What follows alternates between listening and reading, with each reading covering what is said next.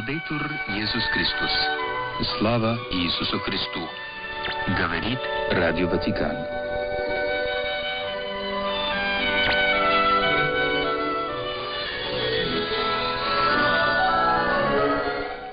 Сегодня 4 октября, день памяти святого Франциска Осиского. Святой родился в 1182 году семье торговца сукном. В юности Франциск принимал участие в воинских походах. Попав однажды в плен, он обратился к Богу, проникся состраданием к бедным и нуждающимся. И вот однажды во время мессы Франциск услышал слова Евангелия от Матфея. «Не берите с собой ни золота, ни серебра, ни меди в пояса свои, ни суммы на дорогу, ни двух одежд, ни обуви, ни посоха, он тут же снял со своих ног обувь и опоясался веревкой.